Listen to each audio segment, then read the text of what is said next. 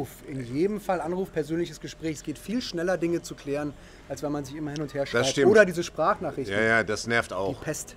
Ja. Kochen. Kochen, auf jeden Fall kochen. Man weiß, was drin ist.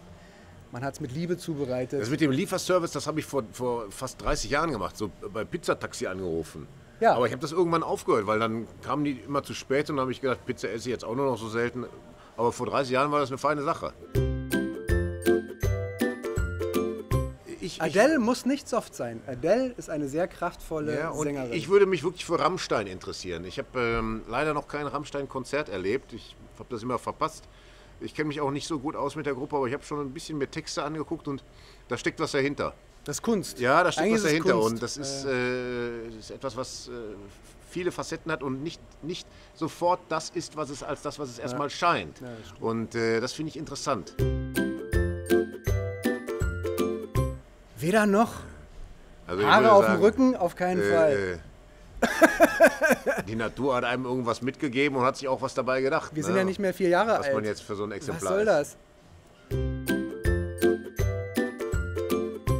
Essen ohne zuzunehmen. Ja, ich liebe ein- Essen. Ja, und ein, ein, ein kleiner Rausch ist doch auch was Feines. Also jetzt wollen wir uns doch mal nichts in die Tasche lügen. Am Abend Man noch. trinkt doch gerne mal ein Gläschen Gin Tonic oder auch ein Cuba Libre und, und mag das doch, wenn, wenn einem so ein bisschen die Birne dann summt. Ne? Fliegen können. Fliegen können. Der uralte Ja. Traum der Menschheit. Fliegen können. Ja. Das wäre wahr. Das habe ich auch schon oft geträumt. Ich auch. Als Kind habe ich, Ich das schon auch. oft geträumt, dass ich und das träume ich auch jetzt manchmal noch. Und interessant ist, ich schwebe dann so rum, so in 10, 12 Metern Höhe. Und wenn mir das dann gewahr wird, dass ich fliege, dann denke ich, das kann doch gar nicht sein, dass ich wirklich fliege. Und dann gehe ich langsam runter in dem Traum. Und wenn ich dann denke, doch, ich kann fliegen, also wieso, ich muss daran glauben, dann fliege ich wieder hoch. Ja.